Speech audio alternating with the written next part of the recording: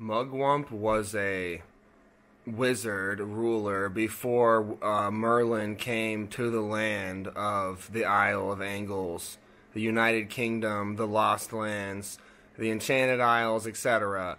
Um,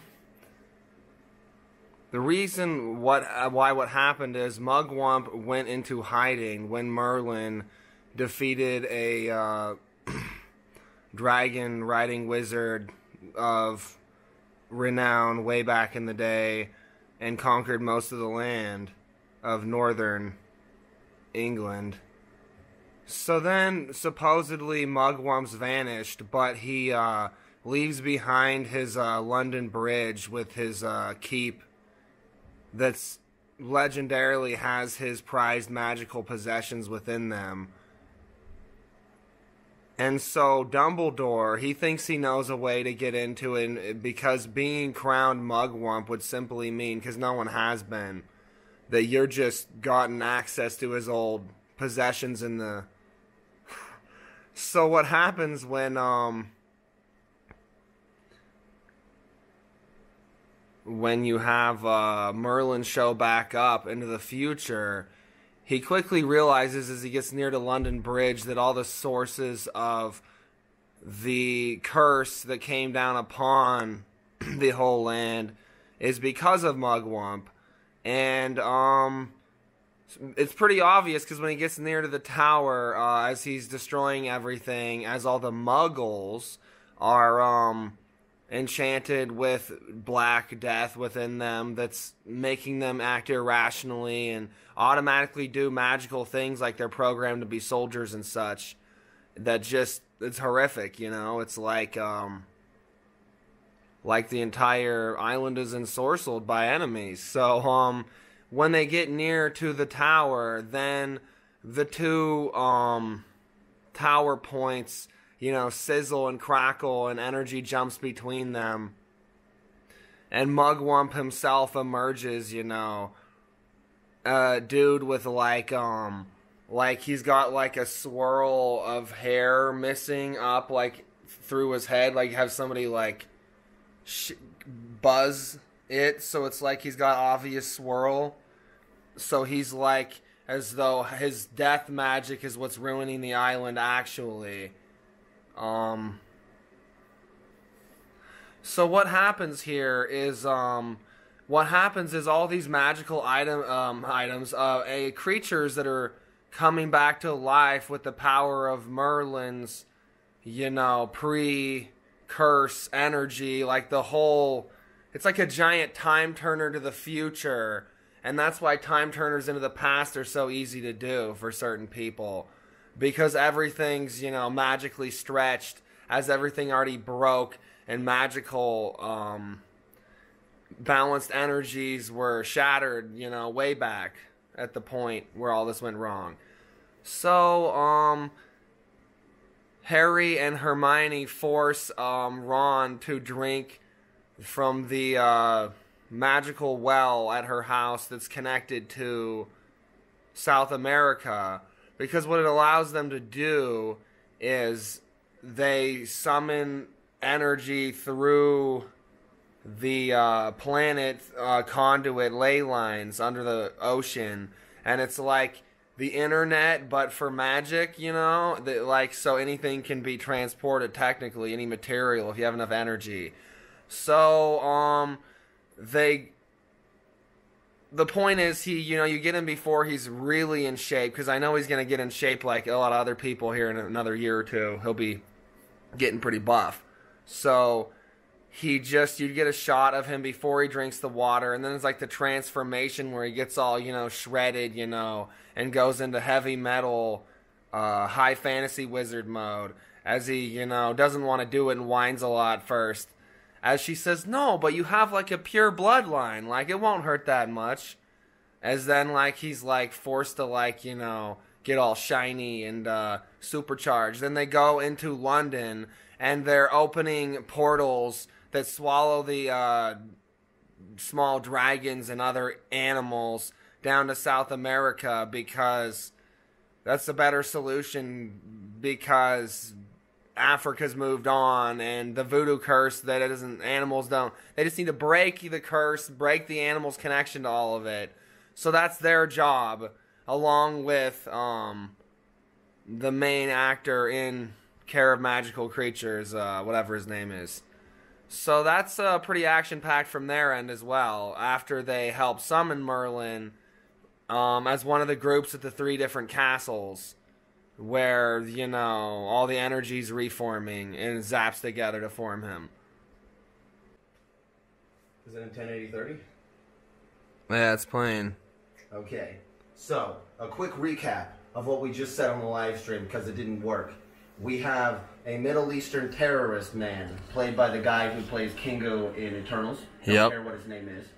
He's gonna come out of Azkaban, which is once again not a place where you're imprisoned. It's a burial mound for wizards and their toxic energy, so that it doesn't escape. Then they escape anyways because the bonds of magic break loose, and then their ghosts coming out of like you know a stone sarcophagus in the ocean. Yeah. So he comes out and he's like, uh, I, I was just gonna do the fight scene. I guess I didn't really have a connection to how he specifically got there with a lead up scene. I was just doing the fight. scene. yeah, I'll come up with that. So he has henna tattoos all over his body, and he reveals them when he pulls off his stupid, you know, stupid, sexy black shirt. And they're, uh, you know, like different creatures: bats, crows, spiders, snakes, bears. Uh, like like one bear, uh, you know, uh, like a stag, an elk of some sort, uh, and a wolf. So like several of them. Oh, when it's the stag part, he should probably turn into his Patronus animal and fight stag to stag. Yeah.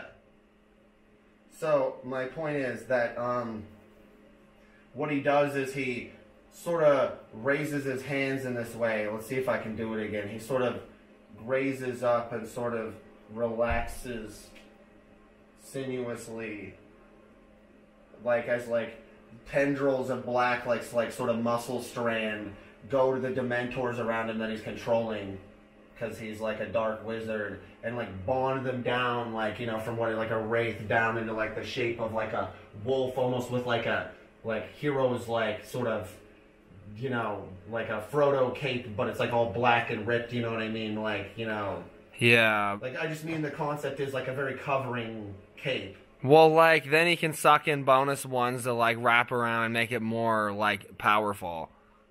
Yeah. So my point is like a, a wolf forms a uh, bear and a uh, stag and like another wolf, and so they they run at him, and uh, Daniel Radcliffe's all like, you know, cracks his neck like really painfully all the way around in a big old circle, you know what I mean, and then pops his knuckles all loudly comedically, and his hands start you know glowing with his purple energy as he gets his fisticuffs ready, you know, he, he, he shrugs them out, and then he runs at the the first uh, wolf that's coming at him, and he jumps all overly dramatically, so it's all like, oh, and he punches it in the face, you know, but he carries through it, so as it flies and slams into a big old oak tree in the park, you know, by like a bridge or something, I don't know what England has. Uh, the the wolf like you know like explodes into like you know like like tethered gas pieces you know? Yeah. it hits the tree but he doesn't stop because he punched it you know what I mean? Because he's got so much magical like spin force to the way he was punching. So he all he all jumps up and punches it and then lands and spins and keeps going. So you know he's all like in one motion it's all like bam! And then he's like like yeah but you get it like on the wet grass. Like there's like a slope slightly downward. Yeah. so he's like, you know, like sending stuff a tiniest bit up a slope at him, so it's really easy to do the stunts I'm saying. Yeah. And then um, he keeps sprinting towards the next wolf, which is like, you know, low to the ground and like, you know, sprinting at him, trying to go for his like dick or something. So then he, you know, he sees it coming, you know, well, you know, because it's the next one off to the other side. So he runs and he, he sweeps his leg down and around. I did it better in the other, the other carpet's better. Yeah, it looked better. Like This is know, a shitty carpet. sweeps around, you know, like takes his legs out and back into running. Yeah. And uh you know, it like collapses to the ground. It's all busted up, and then he runs up to the final one, which is the bear, and the the bear like tries to like rear up and slam down on him as it sprints at him, you know, and then he runs up and uh, dodges like the the bear's claws as they come down at him, you know what I mean, and slides underneath its legs like up from behind, you know what I mean, and then jumps on the back of the bear, grabs it by the neck, and then twists around and kicks off of it from the front as it like reaches up to claw him, you know what I mean? Like in a backflip and lands in, in front of the bear and then he like beats the shit out of it with a 20 hit combo as it doesn't know where he went. You know what I mean? He moves so fast and he beat it up so good and it's like pua pua pua and like blocks the bear's paws as they try to swing, you know, with like magical shielding coming off of his hands. And then he's all like? And he, you know, he, he charges up and he punches it super hard in the gut and it like falls to the ground defeated or whatever as it, like it starts to turn to smoke. And then he goes, and like, you know, kicks it over, you know. Yeah, definitely. To the side as he, you know, then jumps over it and sprints at the guy. Well, then the guy's got to like thrust his hands out in front of him and like launch like the shape of a stag from his like hands from the camera's perspective.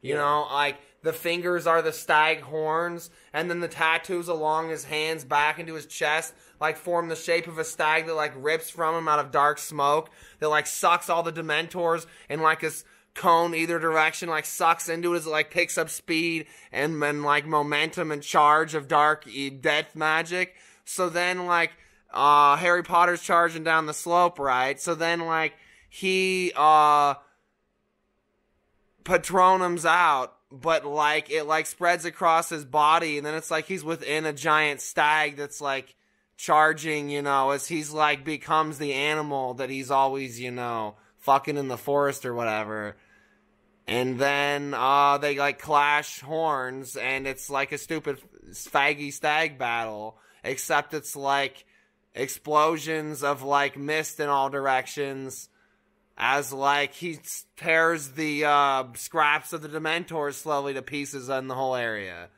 Yeah, you know, but like my point is, the, the he like the, the other stag, stag like you know twists and rips and like the other you know explodes into cloth on its horns that's like dark you know yeah light like you know like black light raining down on everything as it's all like and then he like falls to the ground out of it right into like you know, trying to attack him immediately, you know, with the, the last of his stuff on him, and then you know the the smaller tattoos, like you were saying. Yeah. Right after beating him, like it's like non-stop, you know what I mean? Yeah. Like, cascades down, like landing and like trying to get into his face, and he like sprays tons of bats as he like backs yeah. up, you know, as Harry Potter whips out two yeah. he has. And he's like, yeah, blowing up the bats and crows and stuff. Yeah. yeah. And then there's like snakes that are crawling up his legs as he's like, you know, like you know, like pulling them off of his legs, you know. Yeah. Um. Well, of course, it's from the tattered remains of the Dementors that he's again summoning the energy with the tattoos out from himself. Yeah. What's... So then, as he gets through those, uh, you know, he uh, like he finishes with them and he's firing his his wand at you know the the guy again. He's like, and then you know he uh, knocks one of them out of his hands, you know, because he like you know punches at him from the side and it like hits him in the wrist and knocks it out of his. Well, you said before the guy was like blocking with some sort of dark magic when he's shooting his wands at him. Oh yeah, yeah. He's got shielding. He's burning off the last yeah. of his tattoos, shielding himself as he comes in, as he burned through everything. Yeah. And then he, when he comes into shield range, as he steps through, then he immediately smacks one of the wands out of his hand and they start grappling, right? Yeah. So it's like that one flies out of his hand, and then he like puts the other one away because he doesn't even give a shit. Like, because he like immediately was grabbed by that hand, like all in one motion, like hyper fast. So then his other hands out because it's not useful because he's got like magic energy he's using, you know. So yeah. They beat the shit out of each other. So then it's like he like grabs him by the hand and then he punches him in the face with the other one as he you know like tries to block at the uh, Indian guy, but it like, glances off and still hits him in the head, so it, like breaks free his grasp, and then he's all like you know tries to punch him, well, but the blows are skating off of each other with magic sparks of different colors as they're like sliding across. Yeah. He punches Daniel Radcliffe and it sparks off of his sick abs. You know what I mean? Well, yeah, because it's like the shielding from Dune, but totally different. So as they're punching each other in the upper body overly dramatically, the point is it rips their clothes off because they're not magical. Yeah. So then he, as he punches, you know, like Daniel Radcliffe's already gotten his clothes ripped off from all the stupid Dementors attacking him somewhat. So then his abs are visible because his shirt's all ripped open. Well, he, dude, he he had to admit all the way back in like whatever it was, 2005. He liked so much what we're talking about here, even though it's the future. That like he like did that whole play because he's like, no, the point is he's like naked because he like, you know, turns into a stag. You know, he becomes the Patronus. You yeah, know. the other guy's already lost. Uh, you know, he doesn't have a shirt on because he's summoning all the shit from. Yeah, exactly. So then he's, you know, it's like they're fighting each other, all stupid, super like nude manly mode, nearly. Yeah. Yeah, exactly. Yeah, so they're skating blows off of each other. And what did I say happened next? Um, something about he gets knocked down and then he does a spin move. Oh yeah. Then he connects through, you know, like the, the angle of hitting him right, Daniel to the side of Daniel Radcliffe's like ribs, and it knocks him sideways, so he like flies, you know, away onto the grass, like he's all like, you know, you know, like like that, and then you know he he pushes with his hand. So Yeah. it's like the guy's gonna come at him to, to kick him right. And you know, he's, he's coming up to kick him. It's not realistic, it's supposed to be funny. So it's like he's lined up with his knee too good. So he he pushes and yeah, of course this is on wires. And then he like spins, you know what I mean? And like knees him in the groin as he spins up from the ground from pushing, you know. Yeah. He's like you know. Well, he went. You, I think he went the other way before. Oh, the other way? Yeah, like you push and spin the other way from the push. Oh yeah, you're right. So he doesn't see it coming. Yeah, that's how you did it before. Yeah, so then you know he goes, and then you know his knee slams him. in his Yeah, groin. exactly. Drives him to his knees, you know, as he's all like, knocked back, you know, oh. Oh yeah. And then you know he, he gets up, you know, in time for Daniel Radcliffe to attack him. So then Daniel Radcliffe has the opportunity because he cheap shotted his nuts to then you know do the whole stupid, you know. Where he does the double leg kick at his, his hands and then he slides away, you know, all stupid. Yeah, yeah. That's what you said. Yeah. Like it's a fighting game. Yeah, I can't remember the last part Oh, I now. remember what happened. Then he, uh, because he slides away and he's super beaten up. He, as he stands up, Daniel Radcliffe, because he's kind of woozy, he's within range. You know what I mean? He can't do anything because he's not ready yet. Because he already got hit in the groin super hard and you know kicked away with both feet. Then he runs and uh, grabs one of his arms. I remember saying, yeah, because he's only halfway to his feet and jumps all the way over his body. But he summons his broomstick, you know, so it goes under his Yeah. feet as he jumps. So it's like he uses it as an assist to go over his body on the broomstick, like Yeah. all the way around with his, both of his feet on the broom, and then body slams him into the ground, you know, and like. You know, dirt sprays everywhere because he hits, it hits into it so hard. It's overly dramatic, you know. Yeah, definitely.